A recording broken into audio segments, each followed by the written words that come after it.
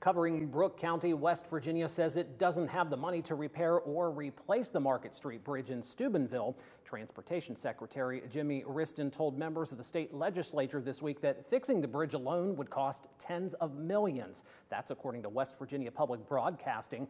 However, Wriston told lawmakers that the project would move forward if federal money was offered. West Virginia will be applying for Market Street to be included in the Federal Highway Administration's Bridge Investment Project, which will fund the replacement of one bridge per state.